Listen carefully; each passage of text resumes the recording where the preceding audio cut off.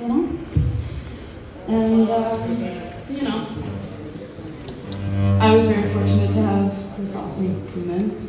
And also, uh, Naomi and I have been playing together since high school. We've uh, known each other a long time, and uh, we actually just played a wedding together on the weekend. It was really fun. Yeah, Naomi's very talented. Normally, I make Naomi sing and play the cello at the same time, but I thought I would give you a bit of a break. Every song except this one, yeah, pretty much.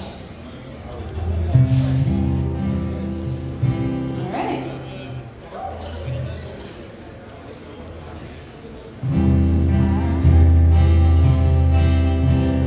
Strange how things that once seemed routine, familiar movements, years in the making, we'd reach for each other like